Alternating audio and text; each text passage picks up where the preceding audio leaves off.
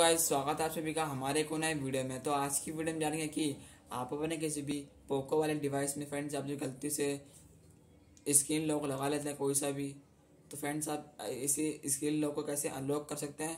तो guys video को शुरू करने से पहले अगर आप हमारे चैनल पर नहीं हैं तो वीडियो को लाइक एंड सब्सक्राइब ज़रूर कर लें। तो फ्रेंड्स आपको अपना स्क्रीन लॉक को अनलॉक करने के लिए सेटिंग ओपन करना है। ओपन करने के बाद सिंपल फ्रेंड्स यहाँ पे आपको स्क्रॉल करने के बाद, यहाँ पे आपको दिख जाता है।